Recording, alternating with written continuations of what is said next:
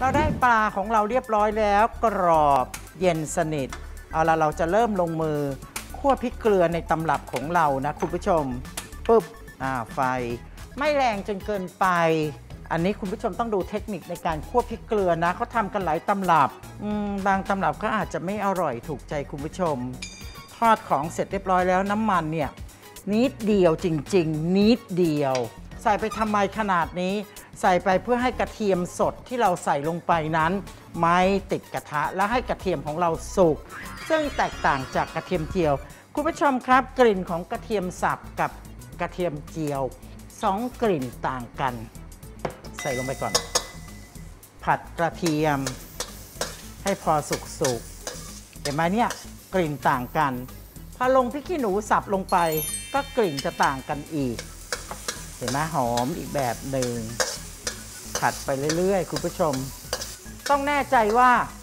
กระเทียมและพริกขี้หนูของเราสุก ไม่เช่นนั้นจะเก็บไม่ได้นาน เอาละไฟเนี่ยแรงไปนิดนึงก็ต้องหลีเอาละพอกระเทียมกับพริกขี้หนูของเราสุก ใส่ปลาลงไปเลยอืมฉุนแล้ว จัดการผัดซะอืม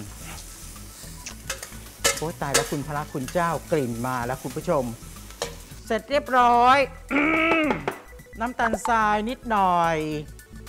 เกลือป่นใส่นิดเดียวนะ เพราะว่าปลาเนี่ยมันเค็มอยู่แล้วทดลองชิมกันก่อนพริกไทยป่น แล้วก็ไม่เคยบอกใครรู้เลยนะ ใส่ผงกะหรี่สูตรของเรา อืม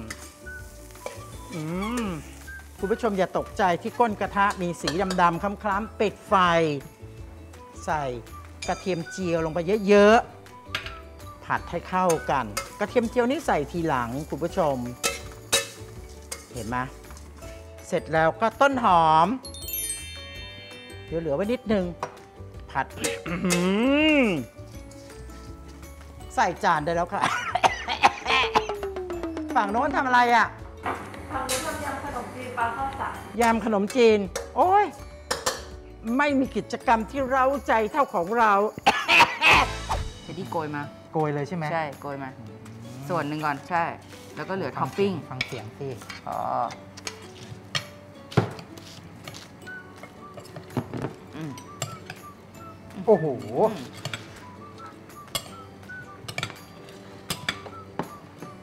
เนี่ยเราก็จะได้ยำขนมจีนแบบ กรอบๆแห้งๆแบบนี้ เราก็จะตักยำขนมจีนของเราลงไป โอ้โหยอืมต้องมีเครื่องด้วยนะ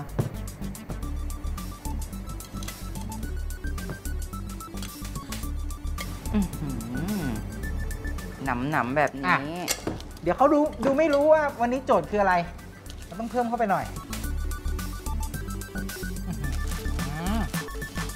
กรอบมากกรอบมากจริงๆทาดาอืมยำขนมจีนปลาข้าวสารเรียบร้อยแล้ว ถ้าใครอยากเพิ่มท็อปปิ้งต่างๆไข่กุ้ง ไข่แซลมอนโอ้ได้เลย โอ้โห คุณสามารถเลือกโปรตีนแบบที่คุณชอบใส่ลงมาเพิ่มเพื่อเพิ่มอรรถรสในการกินได้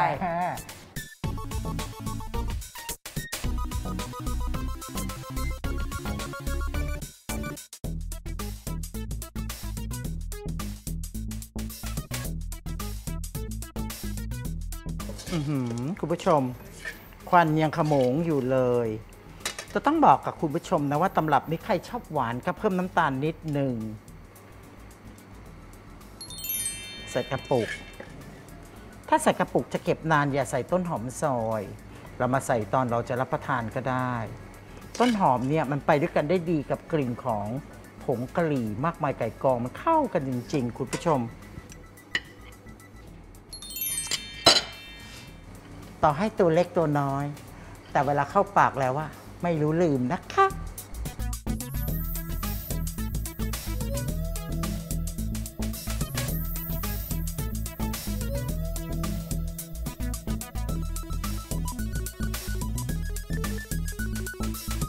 กลิ่นหอมน่ารับประทานมากคุณผู้ชม